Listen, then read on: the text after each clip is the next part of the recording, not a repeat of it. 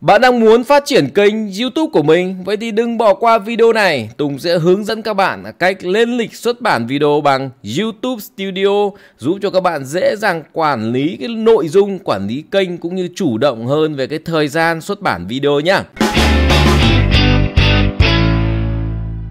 YouTube Studio là một tính năng của YouTube giúp bạn quản lý kênh YouTube của mình một cách hiệu quả. Đây là một nơi hoàn hảo dành cho các nhà sáng tạo như chúng ta. Tại đây mà bạn sẽ được cung cấp đầy đủ những cái tính năng, chức năng để giúp cho chúng ta quản lý kênh, phát triển kênh, tương tác với người xem, thậm chí là kiếm tiền. À, rất nhiều các chức năng nhưng à, đều chứa trong chọn một nơi duy nhất đó chính là YouTube Studio. Bạn có thể sử dụng tính năng xuất bản theo lịch của YouTube Studio để lên lịch trước cho video. Việc lên lịch trước này sẽ giúp cho chúng ta chủ động hơn về thời gian. Chúng ta có thể tự lên lịch để chúng ta tự đăng các bạn nhé, không cần phải uh, đến chờ đến đúng cái giờ thì chúng ta đăng nữa. Chẳng hạn như nếu bạn đến cái giờ mà bạn đang uh, muốn đăng chẳng hạn bạn muốn đăng vào cái khung giờ uh, ví dụ như 21 giờ tối nhưng mà tối hôm đó chúng ta lại đi chơi hay là đi hẹn hò, đi công việc chẳng hạn đó thì chúng ta không thể nào mà ở máy tính chúng ta bấm để public được. Cho nên là cái tính năng uh, giúp lên lịch này nó sẽ đảm bảo cho mình cái sự chủ động cũng như cái tính đều đặn khi mà cái việc mà đăng video hàng ngày lên trên kênh YouTube mà không bị uh, ngắt quãng các bạn nhá. Đấy thì cách mở YouTube Studio thì các bạn uh, hãy xem trên thao tác ở trên màn hình các bạn nhé.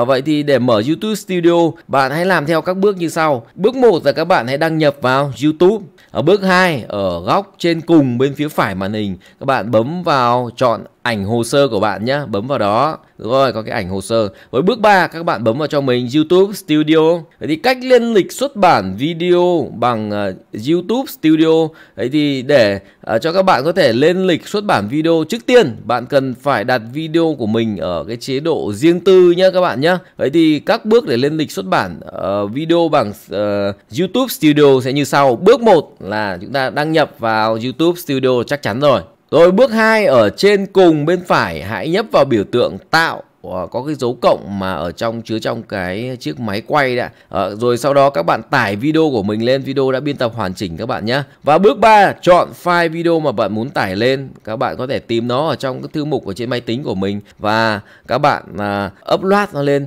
Tiếp đó thì các bạn nhập các thông tin chi tiết của video vào thì ờ, đó là các bước để chúng ta SEO một ờ, video đây các bạn ạ. À. Từ tiêu đề đến mô tả, đến hashtag, đến playlist ờ, rồi đến màn hình kết thúc rồi đúng không ạ? Rất nhiều thì chúng ta sẽ gặp nhau ở trong những video chi tiết hơn về SEO YouTube à, đó là bước 3 và bước 4 thì trên cái trạng thái hiển thị các bạn nhé thì các bạn à, bấm cho mình cái nút lên lịch ở cái chỗ mà các mình trước khi bấm nút đăng đấy các bạn bấm vào lên lịch và bước 5 các bạn hãy chọn ngày giờ, chọn múi giờ mà các bạn muốn xuất bản, các bạn muốn lên lịch, các bạn chọn ngày giờ cho mình và ok cuối cùng bấm lên lịch. Và các bạn lưu ý cho mình này, nếu tài khoản của các bạn đang bị Google cảnh báo về uh, các vi phạm về nguyên tắc cộng đồng thì những cái video của bạn lên lịch sẽ không được xuất bản đâu các bạn nhé. Các bạn chú ý cho mình. Thì đặc biệt trong những thời gian bị phạt thì sẽ không thể nào lên lịch được. Cái tính năng đó nó bị đóng lại. Ở những cái video đã bị lên lịch đó sẽ được chuyển sang cái chế độ riêng tư. Thì trong khoảng thời gian mà các mình bị chờ bị giới hạn phạt đấy các bạn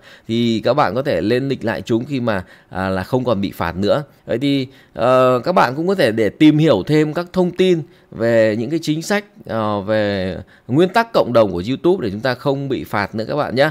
Đó và chúng ta có thể search lên trên YouTube, uh, search lên trên Google đó là chính sách uh, nguyên tắc cộng đồng của YouTube để tìm hiểu sâu hơn. Ngoài ra các bạn cũng có thể là chỉnh sửa hay là đổi lịch xuất bản trong video của mình. Thì chúng ta thay đổi như thế nào? À, chúng ta hãy như sau, cũng vẫn đăng nhập vào uh, giao diện YouTube Studio như lúc nãy. Khi ở trên cái trình mà phía bên trái, các bạn chọn cho mình mục nội dung uh, Vâng, và tiếp theo là các bạn chọn mục cái chế độ hiển thị ở trên cái uh, trình đơn này các bạn thả xuống trong video của mình uh, trong cái giao diện mà bạn muốn chỉnh sửa đấy.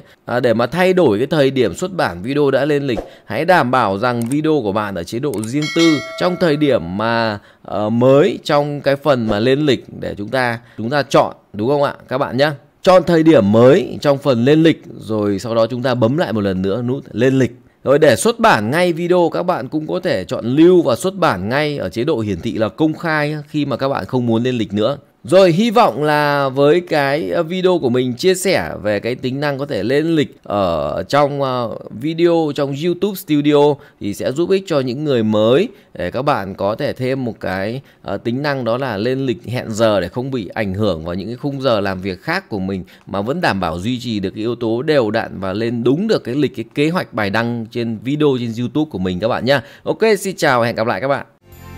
Chúc mừng bạn đã xem hết video cùng với Nguyễn Anh Tùng. Để không bỏ lỡ những video tiếp theo, hãy bấm vào nút đăng ký subscribe kênh của Tùng. Và bạn có thể xem những video cùng chủ đề khác ở phía bên trái hoặc bên phải của màn hình. Xin chào và hẹn gặp lại các bạn ở những video tiếp theo.